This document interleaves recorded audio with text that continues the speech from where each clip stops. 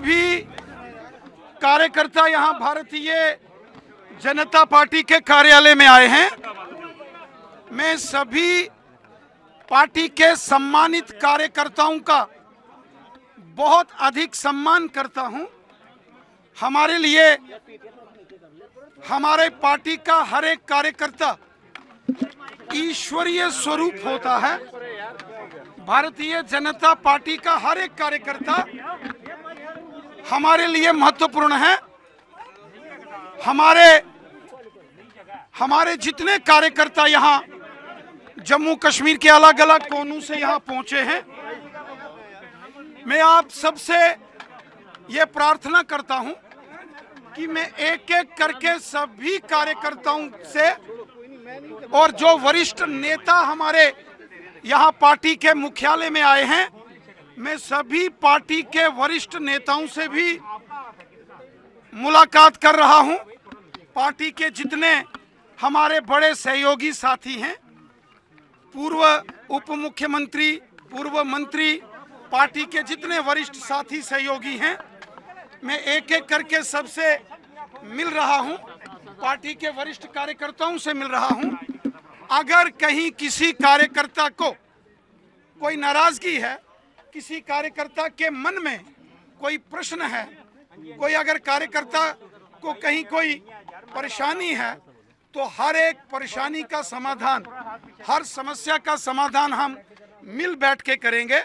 Bharatiya Janata party के कार्यकर्ता की सबसे बड़ी पहचान अनुशासन और राष्ट्रभक्ति, जो भारतीय जनता पार्टी के कार्यकर्ताओं की सबसे बड़ी पहचान है, और मैं सभी कार्यकर्ताओं से निवेदन करता हूँ अनुशासित बद्ध तरीके से हम सब अपनी बात रखेंगे। हर एक कार्यकर्ता की नाराज़गी दूर करना मेरा काम है। मैं हर एक कार्यकर्ता से मिलूँगा। यहाँ श्रीमान ओमी खजूरिया साहब भी हमारे बीच में हैं। पार्टी के समर्पित कार्यकर्ता हैं। हमारे स्वयंसेवक बंधु हैं। हमें हर एक कार्यकर्ता का सम्मान है। मुझे पार्टी के सभी कार्यकर्ताओं का, प्रत्येक कार्यकर्ता का पोलिंग बूथ से लेके प्रदेश के और राष्ट्रीय स्तर के कार्यकर्ताओं का मुझे बराबर सम्मान है। हमारे लिए पार्टी का हर एक कार्यकर्ता ईश्वरीय स्वरूप है। देवतुल्य कार्यकर्ता भारतीय जनता पार्टी में है। मैं एक एक करके सभी कार्यकर्ताओं से मुलाकात करूँगा।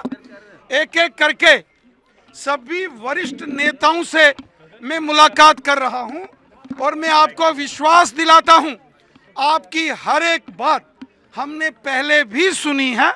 आपसे परामर्श विचार विमर्श मैंने हमेशा अपने कार्यकर्ता को साथ लेकर कार्य किया है और मैं आगे भी आप सब की बात सुनूँगा। कैंडिडेट्स जो हैं पैराशूट कैंडिडेट्स की जो ये एलिगेशन लगा रहे हैं उनके नाम काटे जाएँगे लिस्ट से कि नहीं?